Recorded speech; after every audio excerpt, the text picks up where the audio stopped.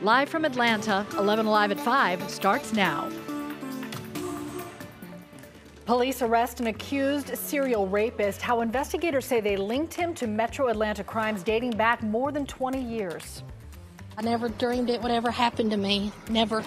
20 people still missing right now after tornadoes battered neighborhoods in central Tennessee and near Nashville. Tonight we're hearing from the survivors who cannot believe that they have survived. But first, we continue to answer your questions about the two confirmed cases of coronavirus here in Metro Atlanta and who may have been in contact with them before they were diagnosed. We have seen a lot of false information shared online today. Our goal is to give you all the facts without spreading fear. So here's what we can confirm for you tonight. There are still only two cases in Fulton County, a teenage son and father who are both already starting to feel better. We learned today before the son started feeling sick, he went to a homeschool learning center where other students were as well. The center in Cherokee County now is taking steps to make sure the virus does not spread any further. And Joe Henke was in contact with the Learning Center's owner today. And they are taking some precautions, Joe. Jeff, several precautions. The Fulton County Health Director says the teen felt symptoms last Thursday. Living Science Learning Center tells us the teen attended class there the day before. Tonight, a number of families have been asked to self-quarantine, and the Learning Center in Cherokee County is closed until next week. On Tuesday, Fulton County Interim Health Director Dr. Elizabeth Ford said health officials are trying to find everyone who came into contact with Georgia's two COVID 19 patients between the time they began feeling sick and when they headed to the doctor. Trying to make sure that we reach out to anybody who may have been exposed to either the child or the adult. Ford says a 56 year old man returned to Fulton County on February 22nd from a conference in Milan, Italy, and began feeling symptoms on February 25th. His son showed symptoms two days later, and after being tested at their doctor's office, positive COVID 19 results came back on Monday. While Ford says the teen is homeschooled, this afternoon, Living Science, a homeschool study center, sent 11 Alive this email. The center confirmed the 15 year old attended class at the center last Wednesday, the day before he began experiencing symptoms. The letter reads Georgia Department of Public Health has contacted the families directly who have children in the same Wednesday class as the student. The Department of Health has asked those families to self quarantine voluntarily for the two week incubation period of the virus and to wait to return to class until March 12th. The center is now closed, a move Living Science says the state did not require, but it is doing so in an abundance of caution and gives families the greatest freedom to determine how to best care for their children. While closed, teachers will use online resources to help parents continue their child's homeschooling. And the center today did not release details of how many families are being asked to self-quarantine. We do want to stress health officials say the child felt symptoms a day after he attended class at Living Science. The CDC reports there have been reports of people without symptoms spreading COVID-19, but it is not thought to be the main way the virus is spreading. Cheryl. All right, Joe, thanks a lot. It is important to note most cases of coronavirus are mild, like what we've seen with the two cases in Georgia, both of those in Fulton County. From February 16th through the 24th, the World Health Organization surveyed 56,000 patients with this strain of coronavirus. They found 80% of cases experienced mild symptoms. Nearly 13.8% of the cases were severe. Just over 6% of the cases involved patients who were critically ill. New tonight, State Farm is restricting all non-essential travel for employees due to coronavirus. In a statement, the company says it's restricting the, the run through March. They hope this will prevent employees from contracting and spreading the virus. According to our partners at the Atlanta Business Chronicle, State, uh, State Farm employs about 7,000 people in Metro Atlanta, making it the 15th largest employer in Atlanta. On Friday afternoon, the president will travel here to Atlanta. Cheryl. He is expected to discuss how the country as a whole is responding to the coronavirus outbreak. Today, the House and Senate reached a multi-billion dollar deal to fight the spread of the virus in the United States. It's three times more than the initial ask from the White House. It's $7.8 billion. It will fund research and development of vaccines, support state and local efforts to help small businesses. There's also $500 million that will be used over a 10-year period towards a remote health care program. Lawmakers are expected to vote on this deal by the end of the day. Our medical correspondent, Dr. Sujatha Reddy, is going to be answering your questions about coronavirus live on our 11 Alive YouTube page. We're going to check in with her. She's with Jennifer Bellamy coming up in just a little bit. We'll check in with them at 5:30. So if you do have a question for Dr. Reddy, here is the number to text. Again, text, don't call 404 873 9114. Include your first name and where you are from, and we'll try our best to get your ans- uh, answers to you. If you'd like more information on coronavirus, including how Metro Atlanta schools are preparing, you can find that information on our 11 Alive app. You can look for it in the As Seen on TV section. Well, it's still raining, and uh, it's been going on now for 10 weeks. We're hoping for a break at some point. The system now moving through Metro Atlanta. Stop me if you've heard this before. Will we see the sun again? Oh, yes. Chris Holcomb joins us. Chris, I was thinking if you got a quarter for every time someone know. said, when's it going to stop raining, you'd be a very rich man. I would be very rich and I would not have to be here today working. but uh, I'm here to let you know that there is light at the end of the tunnel, but we still have to get through yet another 24 hours before this moves out. I'm thinking by this time tomorrow, we'll begin to see this rain tapering off. And then during the evening tomorrow, it's going to be out of here and we'll really have that drying out process finally by Friday and for the weekend. But as of right now, we still have this rain that is over us right now. A little bit of a break around Atlanta. Have a pretty good coverage of light rain on the north side, a break from Atlanta down to the south, but that's not going to last long at all because more rain is going to be moving through our area. In fact, you can see it in motion here. These showers that have been moving through, but more of this over to the south and west of us will keep pushing in as well. Look at all the lightning with the stronger storms down to the south. That is going to stay to the south. We're not concerned about any strong storms here. Our air is a little more stable. Here's what we're going to be watching as we go through the rest of the nighttime hours tonight. We still have that flash flood watch in effect until late tomorrow when this rain moves out. We've already had significant rain, and yet another one and a half to three inches of rain is possible between now and tomorrow afternoon. In fact, if you think it's been rainy, it's going to be even rainier tonight and early tomorrow with more of those pockets of heavy shower activity. Stay with us. We'll talk more about the timing of when that sunshine is going to return and if it'll stick with us through the whole weekend. An alleged serial rapist accused of attacking women for more than two decades finally is in jail tonight. The DeKalb County District Attorney says Wesley Cooley is linked to sexual assaults dating back to 1999 here in metro Atlanta. Caitlin Ross was there today when Cooley's arrest was at long last announced. The alleged attack spanned years and miles around DeKalb County, Atlanta, and Conyers. And the district attorney says she's sure there are more victims out there. That's why she's asking everyone to look at these three different booking photos of Wesley Cooley throughout the years because people may have encountered him at different times in his life. He was denied bond at his hearing this morning, with the judge ruling he is a significant danger to the community and would likely attack again. The remand comes after years of attacking women, with the victims ranging in age from 15 to 38. His DNA was collected after a sexual assault in Tucker in 2017 on Northlake Parkway. The DA says the DNA links him to a total of five assaults in DeKalb, two in Atlanta, and one in Conyers. Today is about the victims on whose behalf we advocate.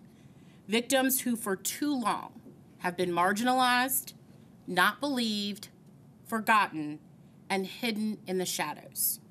Today we say, We see you. We will continue to fight for you, to seek answers and justice on your behalf, no matter how long it takes. The DA says they got a break in this cold case after the state received a federal grant to clear a backlog of untested rape kits. At 6, we're looking at how many charges have been filed since the state got that much needed funding. Thanks a lot, Caitlin. All right, topping your speed feed tonight, we are learning more about the plane crash in Oconee County that killed three people. The plane crashed off Elder Road yesterday afternoon. The FAA is investigating and says the plane was heading from South Carolina to Alabama. The sheriff's office says they've tentatively identified the people on board. The victims' names have not yet been released publicly. One of the men accused of firing shots inside of a Douglasville Best Buy is now in jail. Arnaldo Rodriguez and another man are accused of firing their guns, stealing a laptop and two drones, then running out of the store on Monday. Police arrested Rodriguez after somebody saw him inside another Best Buy in metro Atlanta. His partner got away. If you recognize this man, please call police. And the GBI is asking for the community's help in finding a missing teenager. 17 year old Julia Mann disappeared from her home in Oconee County on February 20th. There's currently a $7,000 reward for any information that leads to bringing her home. A Checkers employee is accused of shooting at two customers after a mix up with their fast food order. Mara Siriani was out in DeKalb County this morning where she talked to one uh, victim's mother. DeKalb police say an employee at this Checkers restaurant is accused of shooting a person after a dispute over an incorrect food order. This all happening just before midnight Wednesday at the Checkers drive-through here along Candler Road, not far from I-20. DeKalb police arresting 24-year-old Jonte Robinson, who they say works here. Investigators say the victim was found shot in the chest. He was rushed to the hospital and is expected to be okay. We talked to the victim's mother, who says when her son told the employee about the mix-up, that's when he allegedly pointed a gun through the window and fired shots. Um, they had a mix up in their orders and they both were upset, him and both of the guys. And the employee stuck a gun out of the drive through window and shot at both of them. Robinson is charged with aggravated assault. The incident is still under investigation. Up next, a recall on IKEA furniture that anybody with children really needs to hear. We know you have questions and concerns. We know there's fear, but when fear drives us, we overreact and underprepare. So here's our promise to you as 11 Alive covers coronavirus. We promise that fear will never be our goal. We'll find the best experts and ask informed questions. We'll hold the powerful accountable to answer them. We'll bring you context and perspective to numbers that are always changing. We will always try our best to answer all of your questions. And if you're not getting the information you need or think there are other stories we need to share, please let us know. We are here to serve you, our community, with facts to help you prepare, be safe, and have some peace of mind.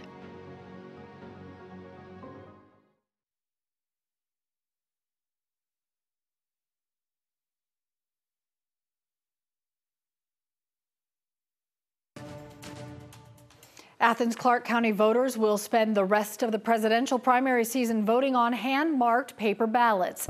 The county election board decided to stop using the state's new electronic voting system because of concerns about ballot secrecy. 11 Alive's Doug Richards reports from Athens.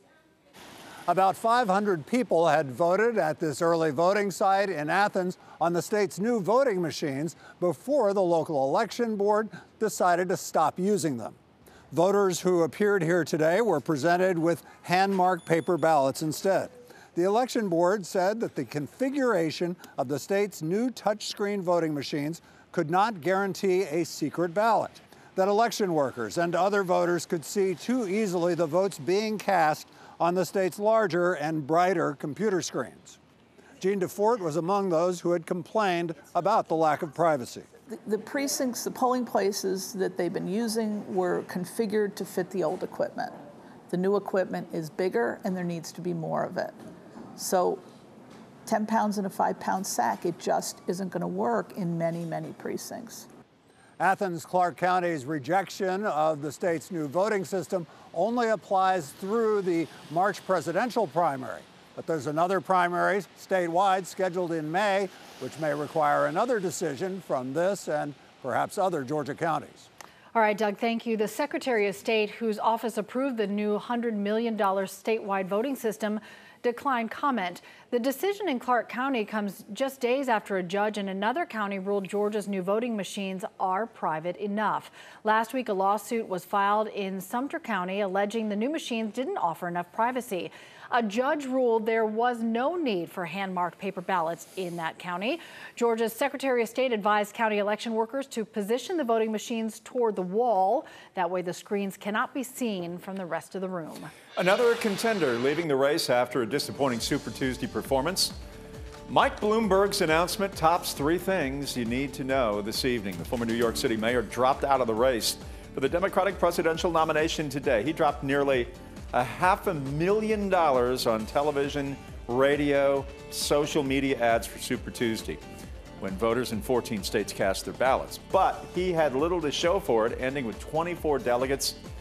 He joined former candidates Senator Amy Klobuchar and uh, Pete Buttigieg in endorsing Joe Biden. We'll have more on Mr. Biden's Super Tuesday performance in the next 30 minutes. IKEA is recalling more than 800,000 dressers that can tip over and, of course, injured children. If you have a, a Kullen three drawer chest, IKEA says you ought to stop using it unless it is anchored to the wall and then put it somewhere where children aren't anywhere near it. You can return it to IKEA and uh, they will give you uh, money for it. They will also return it. IKEA is offering free wall anchoring kits if you decide to keep the Kullen. A new study is showing that many women face financial hard times after being diagnosed with breast cancer. The CDC says more than half of the 800 patients they had surveyed had money problems due to the cancer care. More than 80% used their own money to pay for out of pocket costs, while almost a quarter left some bills unpaid. Women who were diagnosed at a more advanced stage and those without a college degree were more likely to experience financial hardships. All right, folks, you know what time it is. You see your screen. It is time for Wednesday's edition of the A Scene, and we are heading to the red carpet of the Georgia film movie called Burden, starring Garrett Hedlund, Crystal Fox, and Forest Whitaker, and Atlanta's very own Usher. As a Ku Klux Klan museum opens up in a small town in South Carolina, Reverend Kennedy strives to keep the peace, all while urging the group's Grand Dragon to denounce his racist past. Uh, once you understand where a person uh, has come from, uh, then um, you have to work toward bringing about a constructive change. If this ain't a sign, then I don't know what is.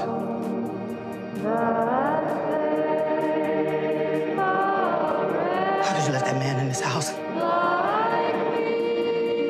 You're out of order, Klansman. How did you develop the strength to be able to sway Mike Burden and tell him that that's not the path that he should be going down? That was a battle, but I told him it was either me or that. So. You know, when I read the article that a KKK museum could open up in a small southern town in 1996, that kind of overt bigotry and racism in 1996, are you kidding? So, you know, I felt the obligation when I read those stories. You were on the ground, they poured gasoline on you. Take me to where you were getting ready for that scene and what was going through your head while you were on that ground, knowing that some of your ancestors went through this exact same thing. At some point, I felt like my character would fight but he can't. He's like, no, in order for you to really understand the reality of what Clarence experienced, he didn't fight back. Mr. Whitaker, there was a point in the film where there was literally a bullet target on your back, but because you didn't retaliate, you survived. You mm-hmm. feel like that's the constant burden that is on the backs of so many black men. I mean, I think that it is, I mean, to be able to be strong enough to be able to go through all the oppression, and the problems, and the anger, you know, and to be able to be your own person, strong and true. I mean, I was in his home and he was talking about when he had to put his family on the on the ground when the helicopters were going over his house, wondering whether they were going to live or die, but living by this principle that we all have the right to live a, a life full of equality. You know what I mean? And full of peace and full of love. And that I'll fight for that. He'll fight for that. He's a protest minister. That's what he calls himself. I, haven't met many people who say, I'm protest minister. Yeah. And that protest minister, you saw him. He was the first one to talk in my story. And that was the real life Reverend Kennedy and the real life Judy as well on the carpet. Burden was so good. And directors and producers tell me they chose Georgia to film because it's actually similar to South Carolina. They shot in the town square in Jackson, Georgia, and say they love the people there, all our Southern hospitality. Burden is out in theaters right now. Our radar has just been working overtime. I think it deserves a break. It's been scanning the skies, picking up all the radar echoes out there of the rain that's been falling, still picking up a lot of rain in the area, mainly light stuff on the north side. If you look north of I-20 here into North Georgia, up in North Gwinnett, up toward Dahlonega, Ellijay, Ivy Log, Dalton, Calhoun, Canton area, uh, showers up near the Gainesville area, near Helen as well. Generally light rain that's moving through there. If we come back closer to Atlanta, you see we had some showers that came through here earlier. We're in a little bit of a break, although it's still really wet out there with wet roads and some mist and drizzle around. And there's more on the way. You can see these showers that are developing back into Alabama. Those will keep moving our way. The good news is the really heavy rain with the thunder and lightning, that's down to the south, and that it looks like it's going to stay to the south of us. We have a lot of lightning here south of Macon, uh, down into parts of South Georgia. That's all moving moving to the east. Our air is a little more stable here, so we're not concerned about stronger storms developing here. It's just going to be all this rain that we have. Here's a look at the roads right now. Even though we don't have active rain falling here in Midtown, looking down on 85 in the Buford Highway connector, it's pretty soggy out there. And in Newnan, we have wet conditions there too. Stay with us. We have to get through yet another 24 plus hours of this rain. Then we finally dry out. We'll have those sunny details coming up at about the bottom of the hour. At least 24 people killed. Many more are now missing after a string of tornadoes hit near Nashville in central Tennessee. Amid the widespread destruction, one community coming together. The motivation to remain strong is coming up next.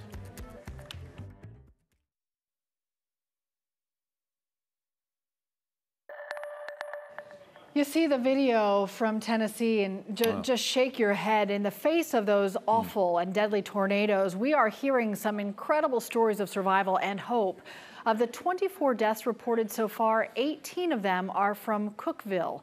As you can imagine, emotions are really raw, but the community's resilience is undeniable. Wow. NBC's Sam Brock has their story tonight. In the heart of heartache. It's unbelievable. I never dreamed it would ever happen to me. Never. Tornado victims reacting to homes hammered by Mother Nature's power. It's pretty devastating. And that's 41 years of work. Water reflecting pools of debris, schools shattered into a thousand pieces, and worst of all, dozens of lives lost. Among them, Carl Frazee, pictured here with his family, killed in his home, and Michael Dolfini and Albree Sexton, who died after a night out in Nashville. Two of my friends died last night. Sarah Johnson um, says she was at a local bar with them when disaster struck. They were leaving the bar. What I believe, what I was heard um, from inside was that a tree had impacted their vehicle. We are strong and we are rallying for our people. On the streets of Nashville, that determination on display.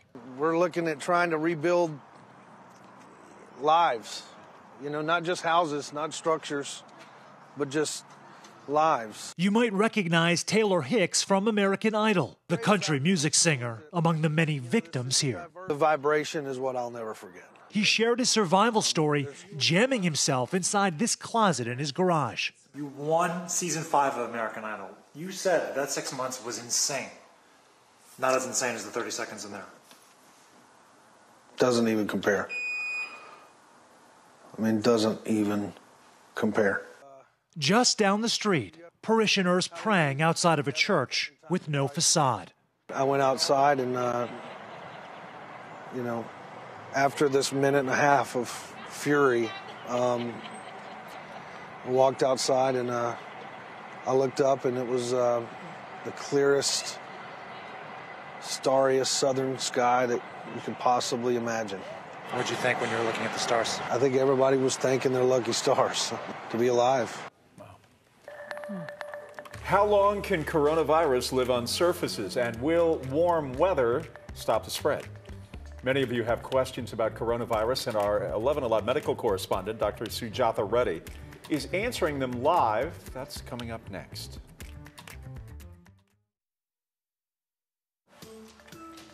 United Airlines is now reducing the number of its flights by 10%, both internationally and inside the United States, in response to coronavirus. This is after President Trump met with CEOs from major airlines to talk about the industry's response to the outbreak. After the meeting, the president stressed that people should still feel safe to travel, especially travel within the United States. As of today, 11 people have died from coronavirus in the United States. The first death outside of Washington state was confirmed in California. It's not just airlines now ramping up their response. Fort Benning is now ramping up coronavirus screenings for new recruits. So far, no recruits have tested positive. The screenings include questions about travel and health. Recruits with any increased risk factors or showing signs of illness will be moved to health centers on base. At 11 Alive, we are committed to offering you the facts on the outbreak and not spreading fear, which is why we want to emphasize out of the estimated 10 million people who live in Georgia, only two have confirmed cases of coronavirus. And right now on the 11 Alive YouTube page, Jennifer Bellamy and 11 Alive medical correspondent Dr. Sujatha Reddy are answering your questions about coronavirus. They are doing so live. We know so many of you do have questions. A lot of you have concerns. Dr. Reddy is a practicing physician. We have trusted her for so many years yeah. to bring us accurate information about your health and well-being. So let's check in with them now. What questions are you seeing more uh, most often, and, and Dr. Reddy, even hearing most office with, often within your practice? Hi, guys. We are getting a lot of questions throughout the week. We do want to remind you of that number so you can text those questions, not call them to us. We'll be fielding them on our 11 Alive YouTube page. That number is 404 873 9114. Uh, Dr. Reddy, Cheryl kind of wondering what kind of questions y'all are seeing from people at your practice. Yeah, we've been seeing the regular questions like should we be worried? You know, what do we do if we think we have it? I think that's actually a really good question. Mm -hmm. Um, I've actually been surprised that more patients, when they come to us, haven't asked a lot of questions because I think here in Georgia, besides the recent cases, the two that we've had, we've really not had that much to deal with here in Georgia. But if you think you have it, the thing to do is if you have symptoms, get a mask if you're going to be around people, new people, people in your family. If, if you have some sort of virus, you've probably already passed it amongst family members. But if you're going to be out, then I would wear a mask. But if you're worried about it, the thing to do is call your primary care or your hospital's ER, whatever you decide to go to, and see if they have the testing kits. We're told that here in Georgia, we do have kits, so they'll have to either be tested at that location or send the specimen out, but we do have kits here in Georgia. But I think calling ahead of time makes sense because you're going to know what door to go through. Do they have the ability to take care of me? Should I go somewhere else? And I think part of that too is going to be based on how severe your symptoms are. Because mm -hmm. if you're really short of breath and possibly have lung problems, you may need to be admitted to a hospital. So then it makes sense to go to, to an actual yeah. hospital. Some of the other questions we've been receiving, or wondering about the coronavirus itself, is it airborne and how is it spread? Yeah, great question. This virus is spread very much like the flu or cold. It's what we call droplet infection. So if somebody coughs or sneezes or you're talking to them and they happen to maybe, you know, spittle on you, that is how the virus is spread. It's droplet. It, it is can be in the air. It's passed through an infected person's secretions as far as coughing, sneezing, um, runny nose, that type of thing. Uh, something else that I asked you myself before we got started here, um, we're in that little change of weather season, people wondering if coronavirus will be impacted by warmer weather, if we won't be seeing it as much, um, or if we know about that. You know, I think it's too early to say. Again, this is a new virus. That's one of the frustrating things about it. But typically, the reason we see colds and flus in the colder climate and colder months is when it's warmer, we're not all in the same facility, all huddled together in the house. We're out and about doing things. And when you're outside, you're not in close contact with people. But in the winter, we tend to be, you know, in our homes, in our offices, and we don't really go out much. And that is why in the winter months we see more colds and flus. Mm -hmm, makes sense. I know we've talked a lot about people washing their hands, cleaning services, um, and the way they would typically be doing that. But how long can the coronavirus live on different types of surfaces? Yeah, that's a great question. The best data that we have right now is that probably lives a few hours on hard surfaces. Right now, the thought is it doesn't survive on soft materials, okay. but on hard surfaces, probably for a few hours. All right, Dr. Reddy, thank you so much. We are going to continue answering your questions right now on the 11 Alive YouTube page. Again, you can text those questions. Please don't call. You can text them to 404 873 9114, and we'll continue to ask those questions for you guys. All right. Thank you both so much. I know a lot of questions have been coming in and, and will continue to. A quick update now to a story we've been talking about for the last couple of weeks. An elderly couple from Atlanta, remember they were quarantined in Japan after traveling on board the Diamond Princess cruise ship? Well, they are getting ready to come home. Clyde and Renee Smith were being quarantined in a hospital in Tokyo. They tested positive for coronavirus. Today, their son posted on Facebook that they have now tested negative two different times so they're able to be released. He thanked the nurses who took such good care of them. He said their symptoms were always fairly mild, so they are feeling great and ready to come back home. You can read more about their experience in quarantine on our 11 Alive app. Look for the story in the As Seen on TV section. We're dealing with more rain out there today. It's mainly light stuff here in metro Atlanta and North Georgia. And you can see here over North Georgia, kind of a broken area of light rain. There are some holes in that with some drier air trying to briefly fill in as this moves up toward the north and east. Still a good coverage of that rain from Gainesville, Dahlonega, up into parts of Fannin and Gilmer County, Rabun County, White County, seeing some of those showers there. Here in Atlanta, some breaks in the city, but on the north side, we still have some light rain and also to the south. But there's another wave that you can can see here coming in from the west, from Alabama. That's pushing into the Rome area, also south and west of the city. And that's just going to continue that motion here to the north and east. So while you're getting a little break in the action right now, more of it is coming in. And, and we're going to see even additional rain moving our way as well. This extends all the way back into Mississippi, Louisiana, also into Arkansas. So we're going to see this rain chance sticking with us not only tonight, but for much of the day tomorrow. And at times that rain can be heavy. Now, I know you're also looking at this down to the south. This is where we have some stronger storms that have been developing here from Macon, between Macon and Valdosta, south of the Macon area. A lot of thunder and lightning with these. Some of these have been strong. We had a report of a dam breach in the Crisp County area uh, that is actually causing some flooding there from a five acre pond. Uh, so uh, uh, authorities are keeping a close eye on that as well. This thunder and lightning is going to stay down to the south though. Here's a live look. This is in Gwinnett County where you see the rain that is coming down. We've moved the camera over to the parking lot so you can see that rain as it's kind of reflecting there on the parking lot looking over Sugarloaf Parkway. And uh, wet conditions here at 75 and 285, even though it's not real active rain coming down right now, uh, the roads are still wet there. So here's what we're watching uh, through the rest of the nighttime hours. If you're concerned about that severe weather risk, we're really not going to see strong storms here.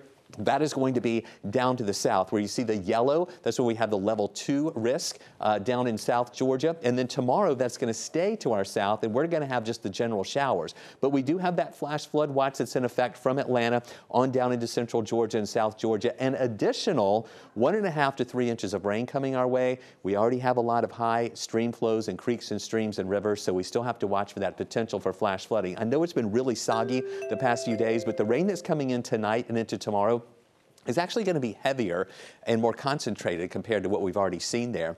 We finally begin to dry out. Now, the rain moves out during the day tomorrow, uh, late in the day, and then we dry out for Friday, decreasing clouds 59, 61 Saturday, mostly sunny, mostly sunny on Sunday, only a low rain chance Monday, and then about a 30 to 40% chance as we get into Tuesday and Wednesday with high temperatures near 70 degrees. Time now for our weather wow moment. The warmer air is waking up the bears. Storm tracker Shannon shared this video with us. This is at her home on Burnt Mountain. So the bears are kind of getting rustled up a little bit, getting out looking for a little bit of food. We would love to see your weather wow moments. And uh, the best way to do that is on Facebook. Just search 11 Alive Storm Trackers and then join that group. It's an exclusive weather community where we talk about weather, share pictures and videos. And that's one of the first places we go when we look to share pictures on TV. Topping our speed feed tonight, DeKalb County is hoping a new emergency services hub is going to cut down on ambulance response times. DeKalb County has a contract with the ambulance company AMR. It has received several complaints of slow response times and even negligence over the years. The county's leveled more than $1 million in fines against AMR, but still decided to sign a new five-year contract last year. They're hoping the new hub on Brookhaven Highway will help reduce those times. The county spent $2 million on new ambulances on top of $5 million for new equipment and some other improvements. STG Healthcare has agreed to pay over a million dollars to resolve false claim allegations. The company is accused of submitting false claims to Medicare and Medicaid for patients who were not terminally ill. STG Healthcare is going to pay $1.75 million to settle these allegations. 15 year old William Floyd is a Make a Wish child from Georgia, and he got his wish granted to be on the video game NBA 2K. His family got to go out to the 2K headquarters in California. He was put into the video game with players, and they can download them. Floyd is the first non NBA player ever to be included in the game. Ever wonder what happened to this guy? I remember him. Do you remember him? I, I think a lot of people do. This Local pastor went viral after holding a sign as he stood waiting for his wife to finish shopping. Jeremy Tuck says this was his way of standing up and voicing his opinion. Nick Sturtevant recently sat down with Jeremy and his wife in this week's Whatever Happened To. Every time Jeremy Tuck talks about it, he gets that look from his wife, Akila. And so, yeah, I, I just, that's pretty,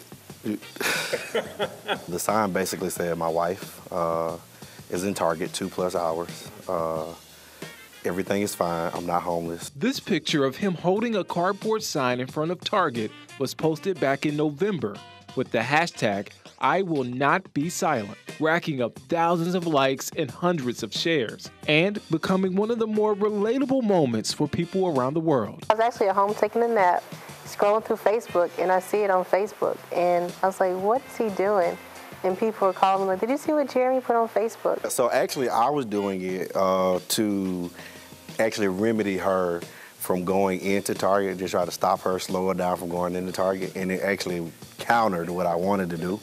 Uh, so yeah, so it, it, it, didn't work. Jeremy said he got the idea from a comic. Jeremy is the senior pastor at Living Faith Tabernacle in Forest Park. Him and Akila are the parents of five boys. And sometimes our date nights, he'll go with me every once in a while. Three you can lose track hours. in time. And since the viral moment, Target continues to be a big part of their lives. That next Sunday, our security team all dressed up like Target employees. Had uh, tags and everything. Uh, they even threw her a Target baby shower. It allowed people to see us uh, in a different light outside of church.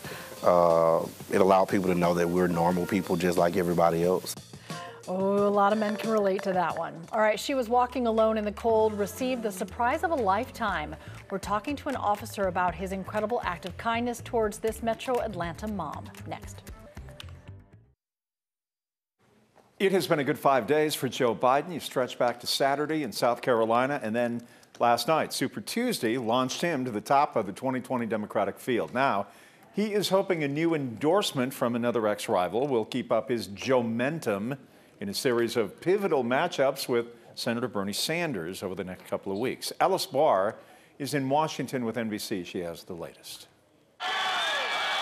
Joe Biden supercharged today after a night that was expected to tilt toward Bernie Sanders. We are very much alive.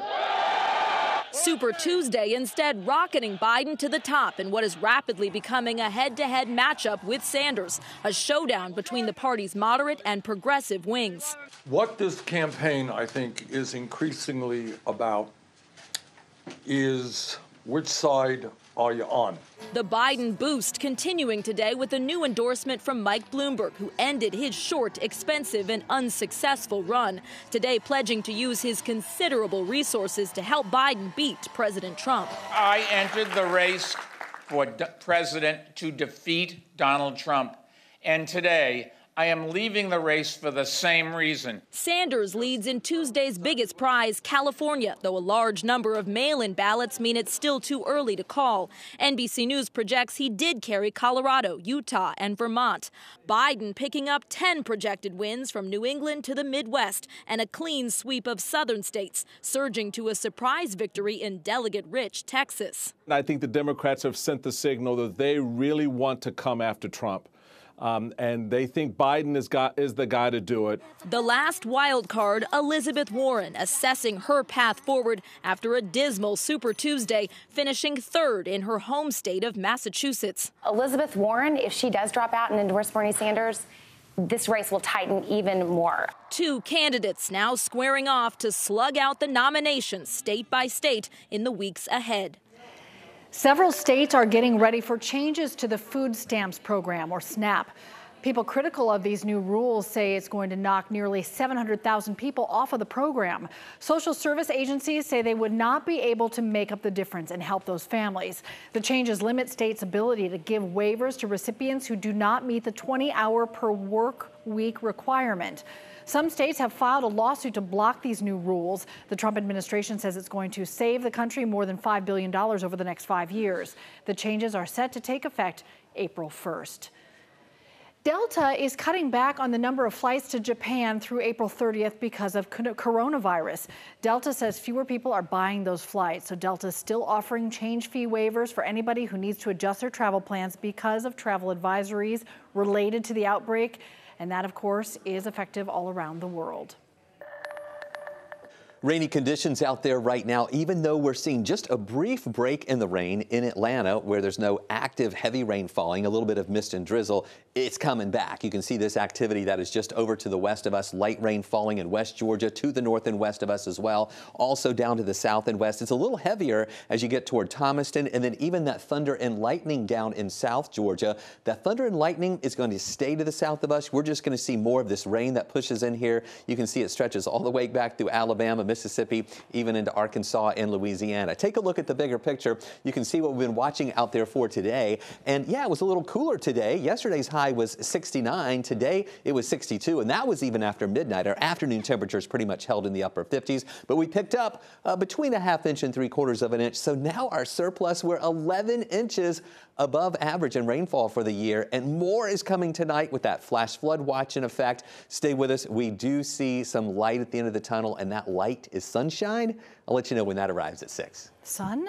Son. He actually said sun. A Gwinnett County officer being recognized for making a little girl's birthday extra special. Sergeant Nick Boney saw this woman walking alone with a bouquet of balloons. Her daughter had just turned one. She said she was on her way home to celebrate. Sergeant Boney knew he needed to help. He not only gave her a ride home, but he also instructed Officer Jimmy Wilson to buy the little girl a birthday cake. Sergeant Boney says he is just happy he had the chance to make that mother's life a little bit easier. Buying a birthday cake for a one year old for a family who, a mother who's obviously trying to make it with her family and make their kid's life the best that she can, that's just one person doing something for another person. We can all do that. Um, it's not a police officer buying a birthday cake for another person. That's just one individual helping out another. I tell you, the little girls when they ran up to give us a hug and stuff, that was just uh, it was just like it was part of the family. The officers ended up meeting the little girl and then delivered the surprise in person. They were greeted with a lot of hugs. Everyone then gathered around the table where they sang happy birthday together as a family.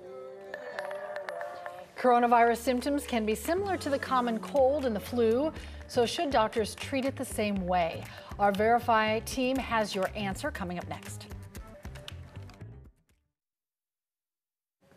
As the coronavirus spreads, many are starting to ask if doctors should treat it the same way as they would treat the flu. The World Health Organization has said that they've gotten that question many times, so they fielded it today. Our Verify team is breaking it all down to give you the facts.